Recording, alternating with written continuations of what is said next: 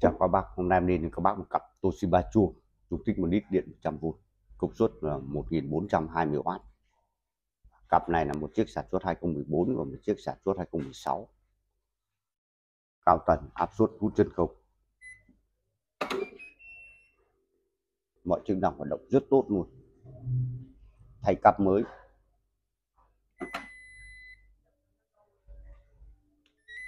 Hẹn giờ buổi sáng buổi chiều mọi chức năng hoạt động rất tốt luôn.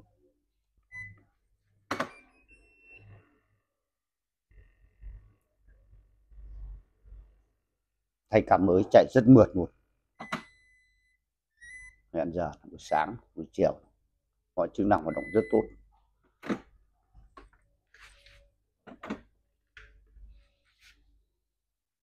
Giòn rất đẹp, rất sạch đẹp. Absolutely. Áp suất bi nòng sòng rất đẹp luôn.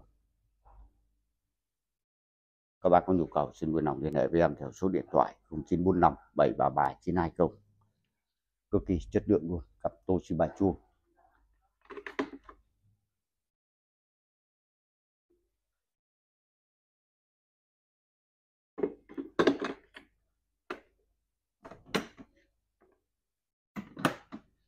các bác vào chậm kênh cho em xin nút like, nút chia sẻ, nút đăng ký kênh. Các bác có nhu cầu mua hàng xin vui lòng liên hệ với em theo số điện thoại 0945 733 920 em ship hàng toàn quốc. Rất mong được phục vụ các bác.